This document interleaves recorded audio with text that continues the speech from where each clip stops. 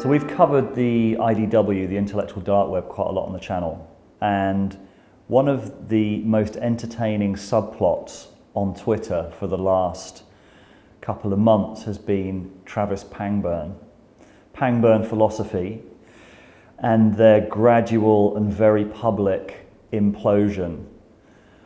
And it's finally reached a kind of inevitable ending earlier, I think yesterday or earlier today, um, where Pangburn has actually folded.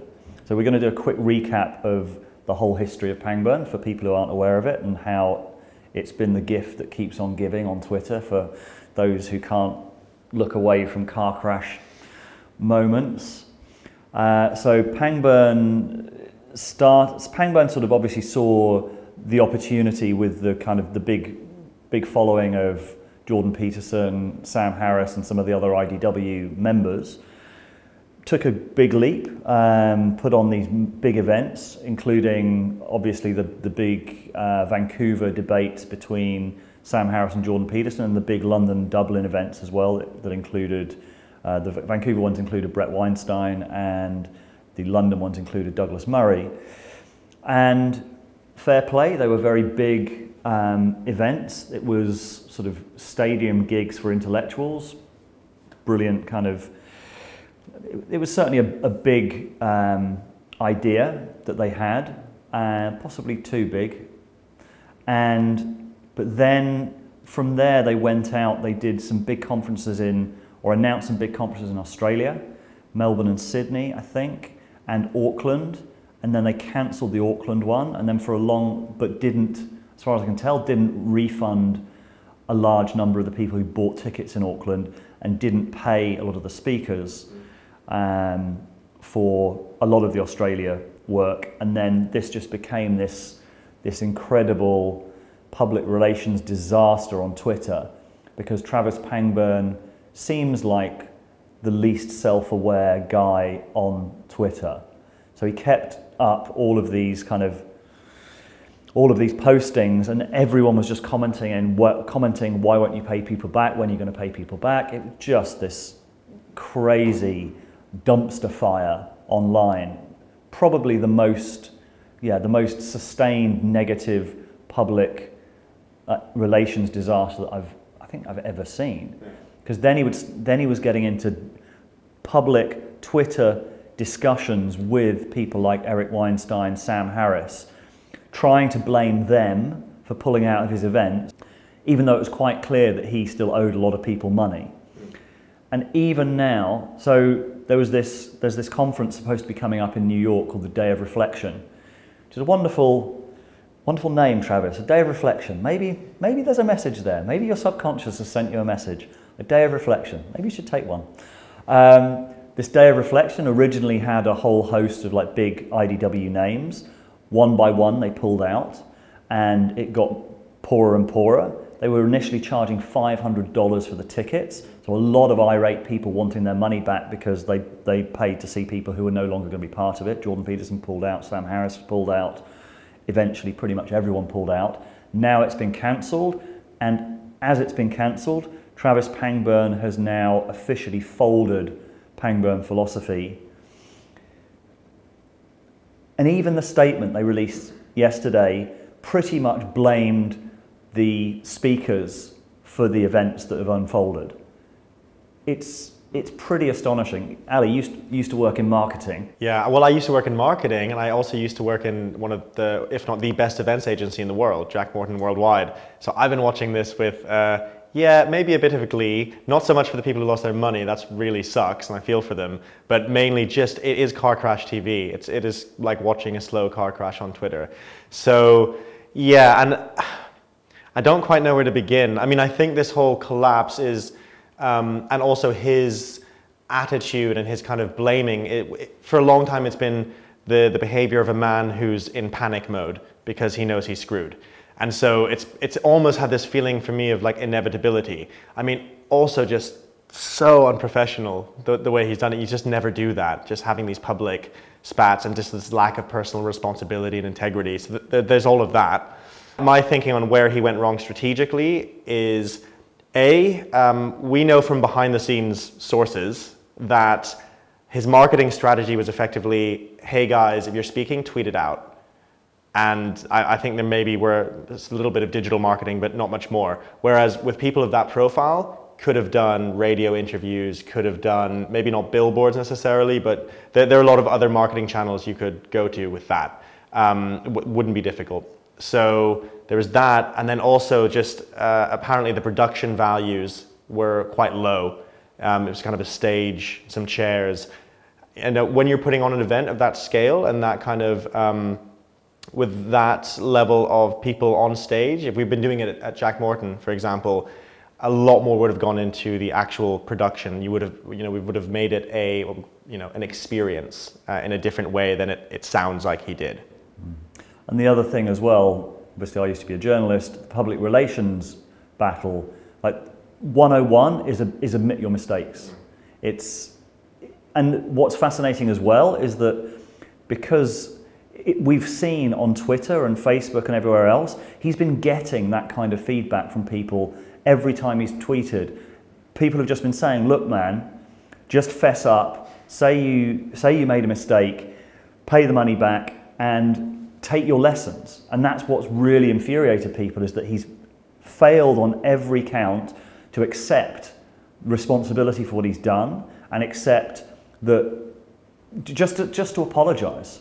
And that in, in the internet age in particular, when there's kind of full accountability and there's nowhere to hide, that's the one thing I just don't see how you get. There's no alternative to, to that. Yeah. And, and my theory, it's just a theory on why, partly why he did that. I don't know him as a person, so it could be an aspect of his personality.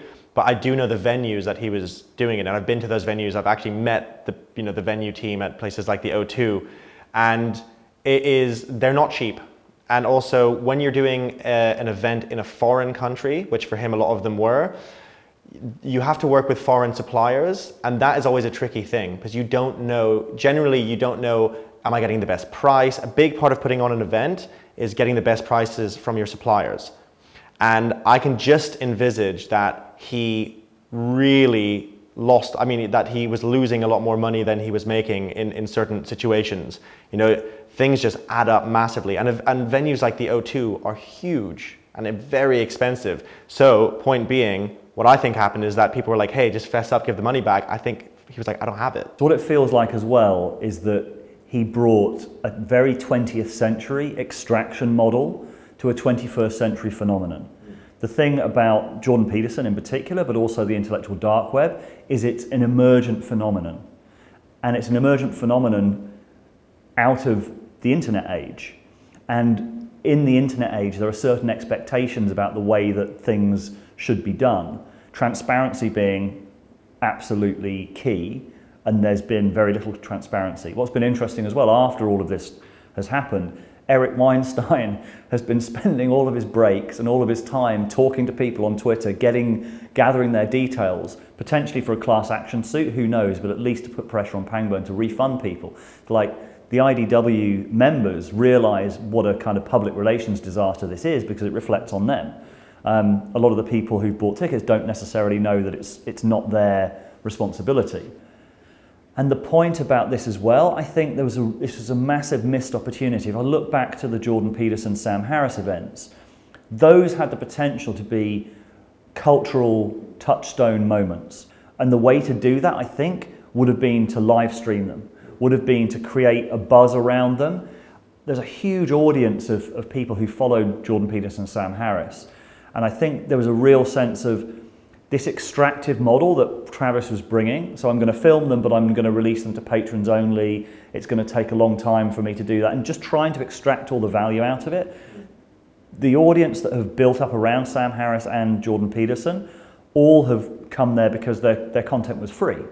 Most of their content was put out for free. And then to impose this model on it that tries to extract just felt really wrong. Felt exploitative, felt like it was it was breaking an unspoken contract with both Sam Harris and Jordan Peterson's audience. And I think both of them actually had quite a bit of pushback from their own audience because of that as well. The way to do it, I think, and I know you agree, and we've spoken with a few other people about this, was to live stream them. Make them a cultural moment that everyone, everyone's eyes are on.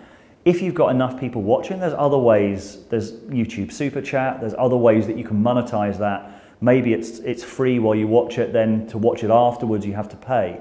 But there was a chance to get the eyes of the world onto this onto this debate. And by the time the, the recordings came out, especially the Sam Harris, Jordan Peterson, I didn't even watch them. I was I was kind of I would have definitely watched all the debates live, but I didn't watch them um, when they've been released because the, the moment had gone you know, as you're saying that, another thing comes up as, as just this kind of missed opportunity to build community within all the different people who are fans of or interested in the IDW.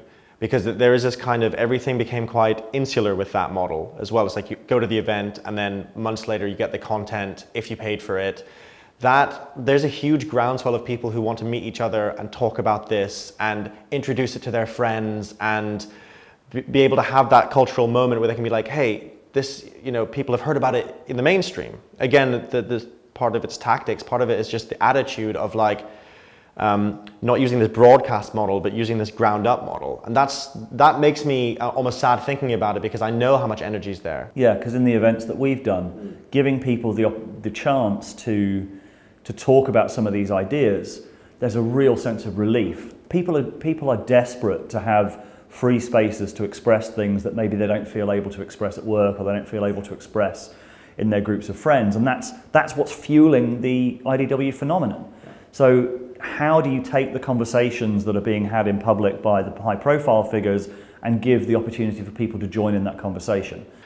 Yeah, and I was just just to add to that, it's it's a big part of the IDW is how to have conversations in public, and that urge, A, there's the urge of just like, God, I just want to be able to express myself. Um, but we all want to know how to have conversations in public. We all want to practice having conversations in public. So really it should be a, um, I don't know if democratic is the right word, but a much more of a back and forth. And there's so much potential in that, I think. So I think what we're saying is that this, this is an emergent conversation. The IDW is part of it, but it's all facilitated by the internet. It's emerging naturally and it needs to be treated like an emergent phenomenon. I think live streaming is, as we've talked about, helping other people to, to join. There's a huge amount of goodwill as well. Like there's a lot of people, since we've been starting doing what we've done, we've had a lot of people offer their help to us in kind of web design and graphic design and stuff like that, which has been fantastic, really helpful. I think when people recognize what the people in the IDW are trying to do, the kind of conversations they're trying to have, and the stakes, the fact that these are the essential conversations that need to be had right now, there's a huge amount of goodwill and a huge amount of desire to help. And then I think you're, if you can tap into that, tap into making it a cultural moment, engaging people, then you've got a chance of really shifting the culture. And I think it obviously needs a curation strategy that recognizes the moment that we're in. And I think it's fair to say that Pangburn philosophy wasn't the right one. There's a phrase that we have in England called shitting the bed. Pangburn shat the bed.